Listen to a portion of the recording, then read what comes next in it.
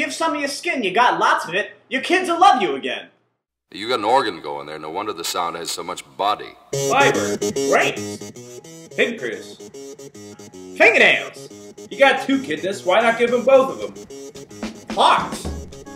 Nose teeth. Spleens. Epidermi. Rekindle the love in your marriage. Your girlfriends will be attracted to you again. This is an organ that wasn't cold. It's a bad organ, you can't use it. You blew it. Postal workers. Little babies. Cabbage. Duck l'orange.